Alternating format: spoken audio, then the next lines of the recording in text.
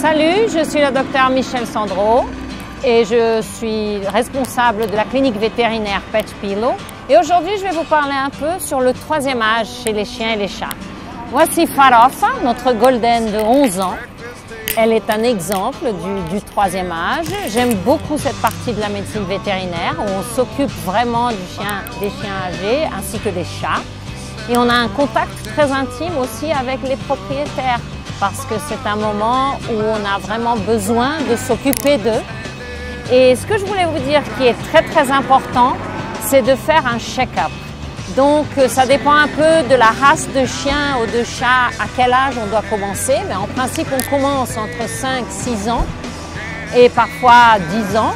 Et on commence à faire les examens, c'est très important, les examens de sang, les examens d'image. Et c'est là où on, on peut reconnaître quels sont les vrais besoins de votre, votre animal? On peut changer l'alimentation, on peut avoir besoin de médicaments.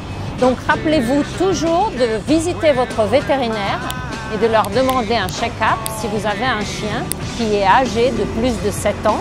Pour les chats, on peut commencer à partir de 10 ans.